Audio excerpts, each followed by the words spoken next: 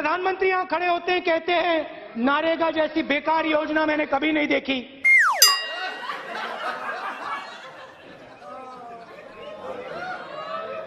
नारेगा, मनरेगा मनरेगा। महात्मा गांधी योजना। कल मैंने आँख बंद करी, मैं सोच रहा था चिदम्बरम जी हैं।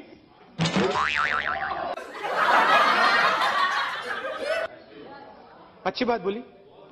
आपको अच्छी लगी। तो ऐसे थोड़ा मार दीजिए हाथ आप। थोड़ा सा मार दीजिए। मार दीजिए। एक बार मार दीजिए। क्यों कष्ट हो रहा है आपको? अगर अच्छी लगी, मार दीजिए। लोग मेरी उम्र के बारे में कह सकते हैं। मैं आदरणीय राहुल जी से एक वर्ष छोटा हूँ। खड़के जी, राहुल जी यहाँ पर सदन में नहीं हैं। मैं उनसे एक वर्ष छोटा हूँ, उम्र में। और मुलायम सिंह जी की पार्टी के कोई यहाँ नहीं है। अखिलेश यादव से एक वर्ष बड़ा हूँ। एक जो दोनों की जोड़ी के बीच में मैं जो आ गया मुझे लगता है कि यह आपकी विफलता का एक बड़ा कारण हो सकता है। लेकिन मैं आप सबको आमंत्रित करूँगा। आप सबका प्यार और स्नेह। आप बोल सकते हैं। अरे क्यों? अरे मेरा नाम आप बोले ना बोले। अब इसीलिए वो राहुल जी एक साल उनसे बड़े हैं। अखिलेश जी उनसे एक साल छोटे हैं। उनके दोनों के बीच में वो है। लेकिन अब आप एक बार नहीं एक बार आप अधिकार में आए हैं वहाँ के चीफ मिनिस्टर बने हैं आपको बधाई देता हूँ। लेकिन आप इस स्टैंडर्ड को मेंटेन करो चीफ मिनिस्टर बन के जब आप उस कुर्सी पे बैठते हो उसी की गरिमा रख के आगे चलो। मैं उसी की गरिमा की बात करने के लिए आया हूँ। बड़े हैं इसलिए अच्छा आशीर्वाद दिया है जी।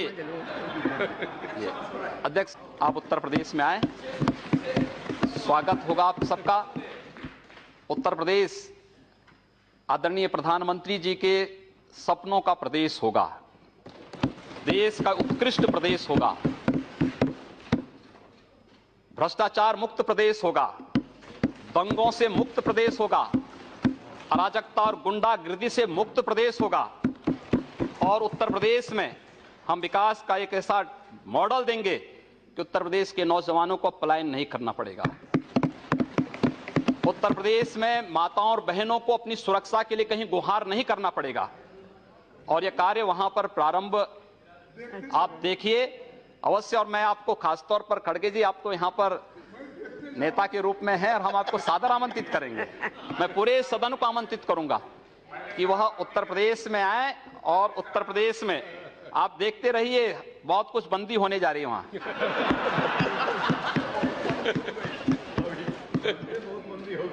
बहुत कुछ वहाँ पर बंद होने जा रहा है aircraft industry? Yes.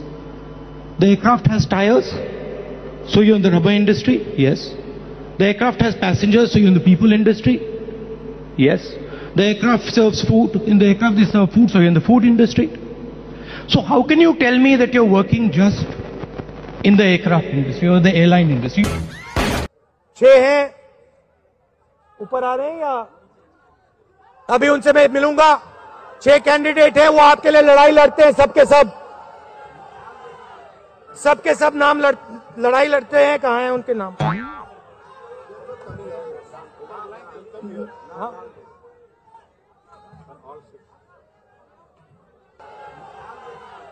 सबके सब नाम लड़, लड़ाई लड़ते हैं कहा है उनके नाम This morning, I got up at night. This morning, I got up at night. और एक और बात सुन लीजिए आजकल एक व्यक्ति है जो पूरे हिंदुस्तान में गुजरात की बात करते हैं गुजरात को अगर किसी ने खड़ा किया है, गुजरात को किसी ने खड़ा किया है, गुजरात को अमूल दिया है, गुजरात को दूध दिया है तो इस तरफ़ देखिए, इन महिलाओं ने दिया है, गुजरात की महिलाओं ने दिया है।